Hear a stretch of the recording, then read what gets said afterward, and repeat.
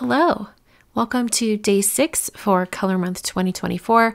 I'm going to be using the Just Calling dies and also the Just Calling stamp set from Concord and Ninth today to create an interactive card.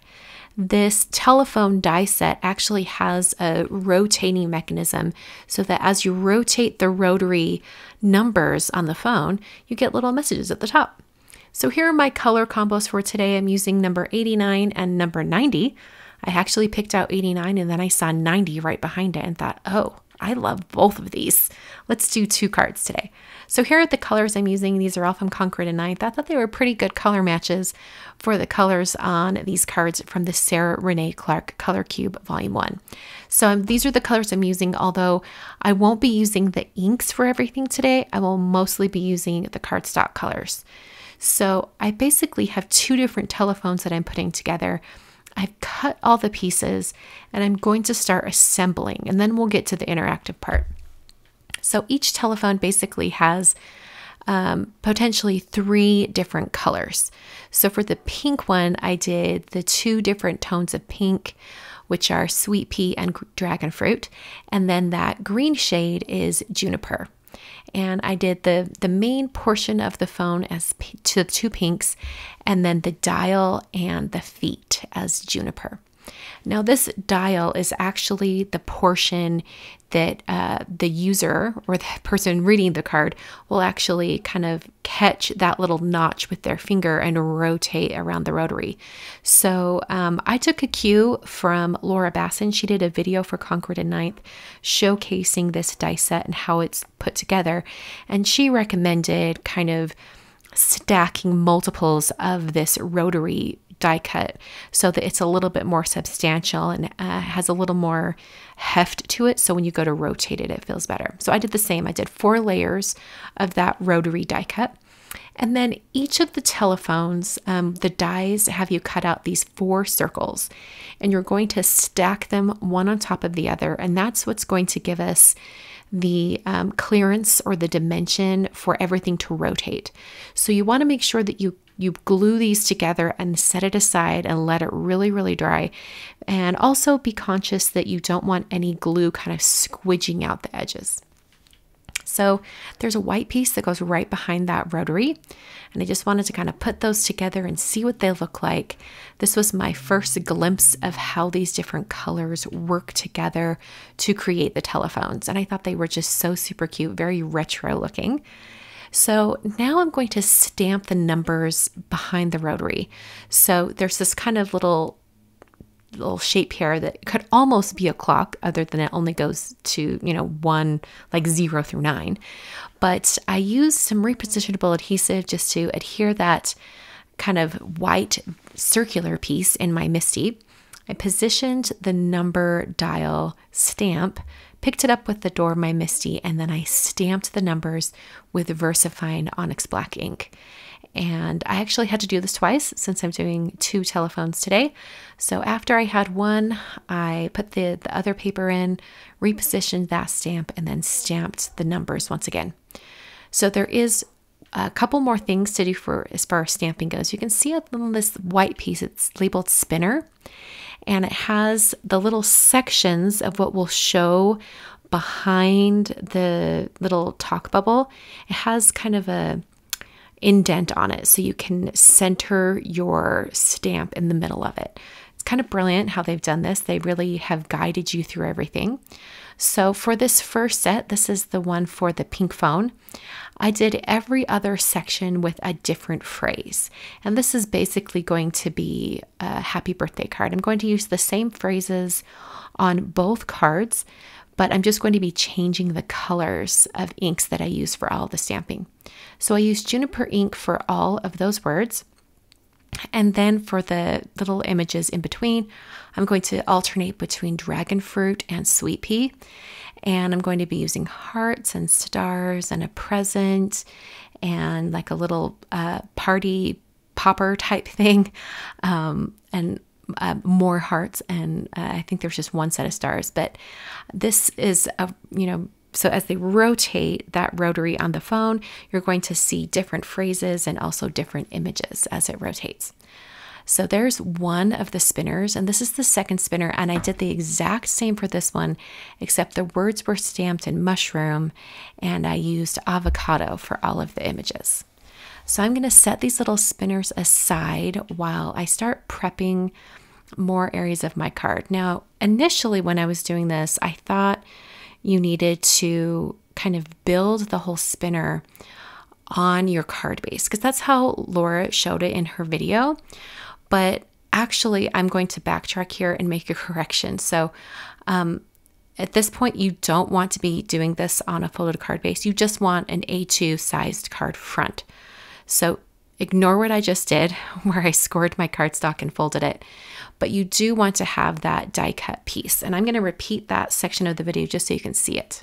So you basically just have that bottom metal bar hanging off the edge of your cardstock and that has it lined up perfectly so it will cut the circle and the little talk bubble so that you can start assembling your spinner right behind it.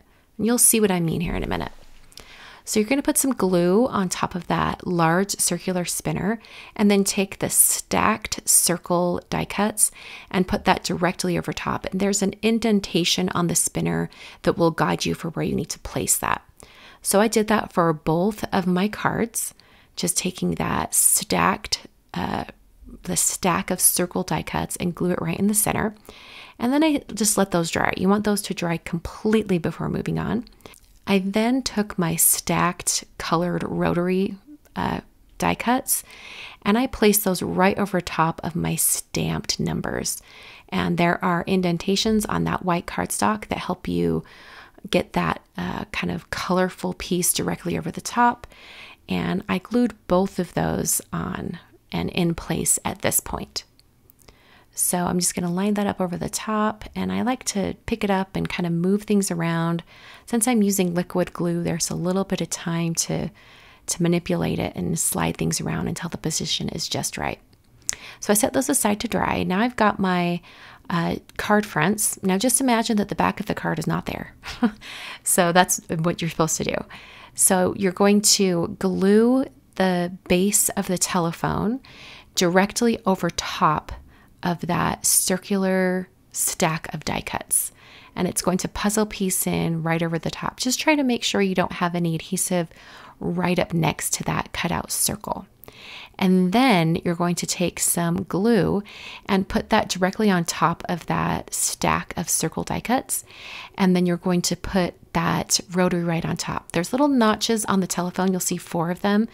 That will help guide you for where you need to place the rotary. So put that on and then place something heavy on top to help that dry. You want it to be completely dry before you try rotating it.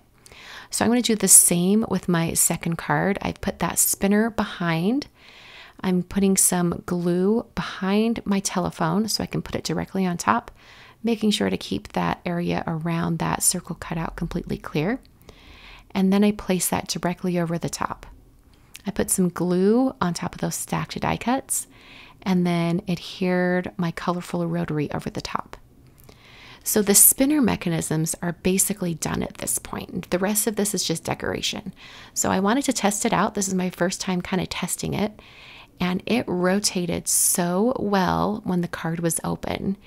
And I noticed that when the card was closed, because you're kind of holding it, was a little bit hard to rotate. And that's when I went to the Concord and Ninth website and I realized that in their instructions, they don't have you assemble it on a finished folded card. They actually have you just, you know, put it on top of an A2 size piece of cardstock. So I'm going to correct that error in just a minute here. There is a center area for the rotary, so I'm going to adhere the cardstock on top of both of those. And then I adhered the handset kind of right above each telephone.